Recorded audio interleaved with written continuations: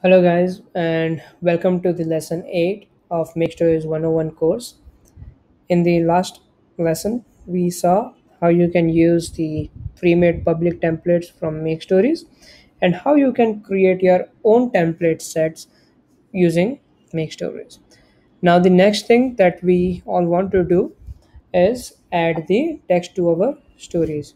We have seen how to set the image as a background.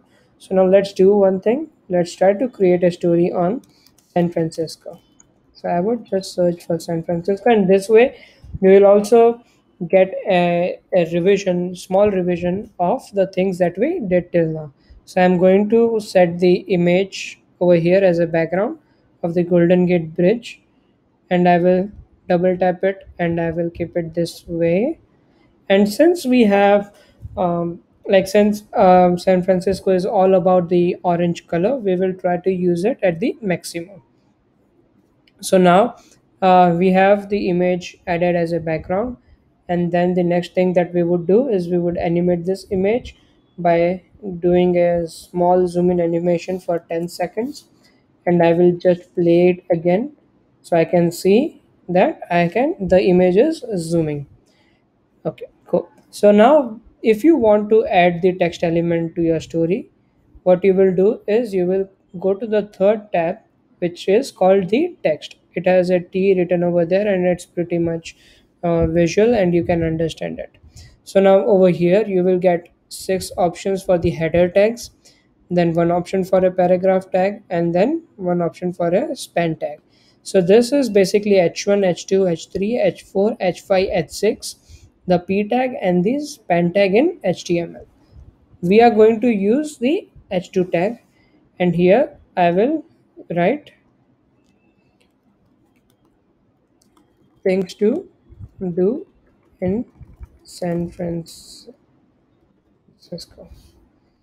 I will just change the color. You don't have to worry about this right now because we will do a separate lesson on how to do all the formatting when you use MakeStories i will just center align this. And now again we have now you can see that the text is not that visible. So i will have an overlay. Here what i will do is i will try to use the um, orange color that san francisco has.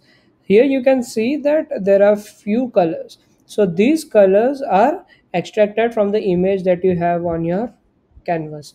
So this is the same orange color that is on the golden gate bridge. So i will click click on this endpoint which has the black color and i will select this. So now you can see that we have a beautiful orange overlay over here.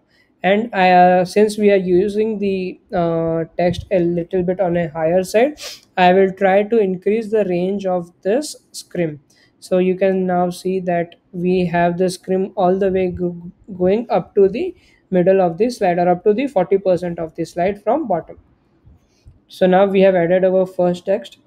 On top of that we will add a paragraph text over here. And here we will type san francisco is a beautiful city on USA's west coast. Again, I will center align this and I will change the color to white. And you can increase the width with this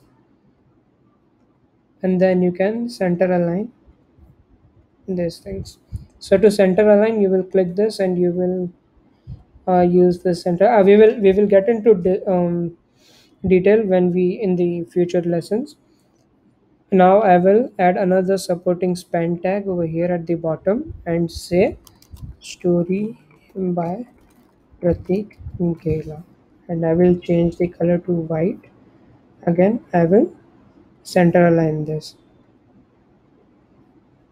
So now you can see that I and I will increase the font size a little bit to make this more um, visual and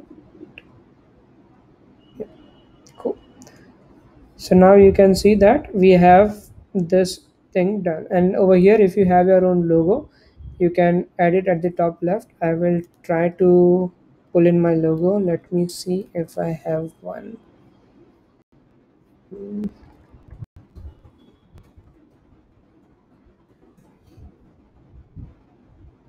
It seems i have but this is all text so let's not worry about it. Mm, okay we don't even have a icon on our webs okay so you can add a logo at the top. If we want to do that i will also add another one over here at the top. And i will just copy this color. I will paste it here. And then i will reduce the intensity for this.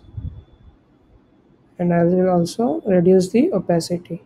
So we have a light orange color at the top and it's not very loud and i will try to take this.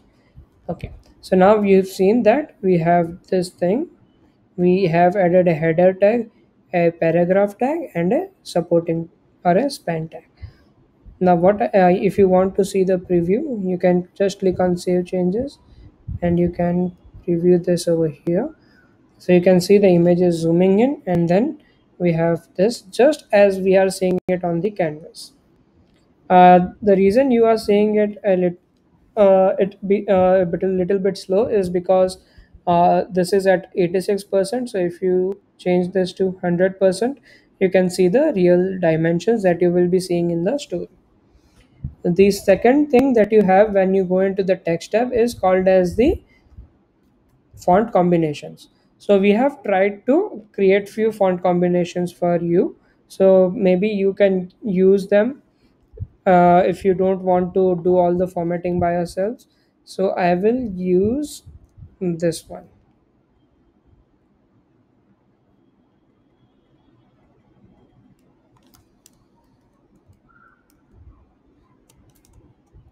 Sf city guide let's add and let's try to find some text about san francisco. You-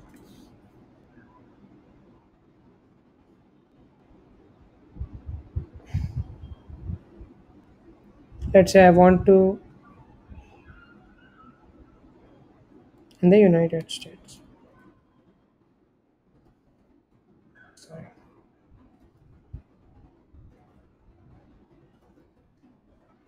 Now i will go into this and if I, uh, if you don't want to have uh, the formatting applied and you want to keep this formatting as it is you will do command shift v. So you can see that the san francisco is the 16th populous city in united states does not have the formatting from this particular section. Okay so and now i will change the color this So this way you can add the elements, uh, text elements from the left panel. Now there is also a shortcut to add a text from the tooltip. So when you do this, you, it will add a heading tag. If you click it again, it will add a paragraph tag. And then if you add it again, it will add the paragraph tag. So this is predefined over here that the first time it will add a heading to tag and the next time you click it will add a paragraph tag. So with this, I think we are done with how to add the text elements on your story. Please see we are not done with the text formatting. We will dive deep into text formatting. What I'm trying to do in the initial lessons is I'm trying to cover up all the options that we see in the left bar. So we've we are done with the backgrounds, with the templates and the text elements. We will revisit this entire right panel, so don't be worried about it right now. I will get it to it in detail in the future lessons.